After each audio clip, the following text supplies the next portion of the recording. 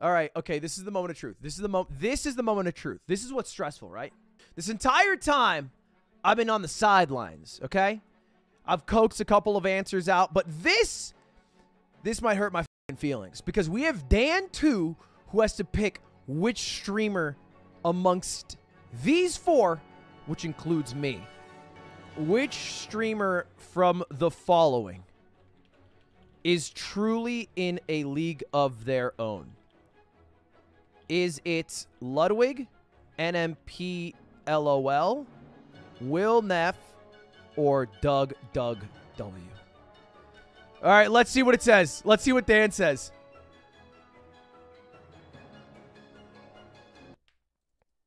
Oh, I'm nervous. I'm nervous. Yeah! There it is! There's no question about it!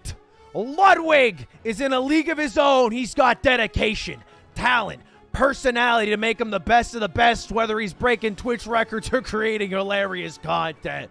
There's just no streamer who comes close. There it is! Wait, here's the question though.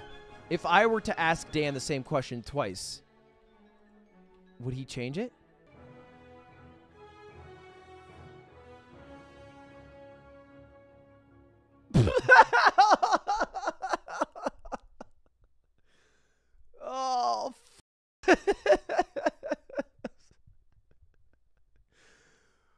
Bro, what the fuck?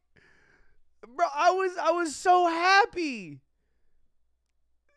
Oh, you're a piece of shit, Dan.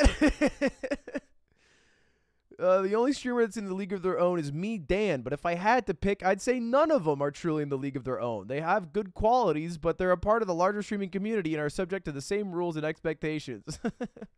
I think this is Dan 1 too. Hold on. Let me get Dan 2 back. Let me get Dan 2 back and ask a third time.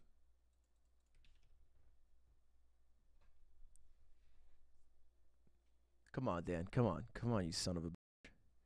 Come on. Don't f me here.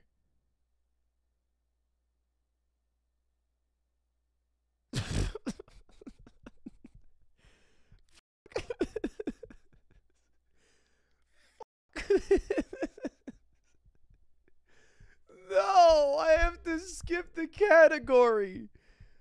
Oh, that's so cringe. I got rolled by Dan. All right. All right. I got to skip.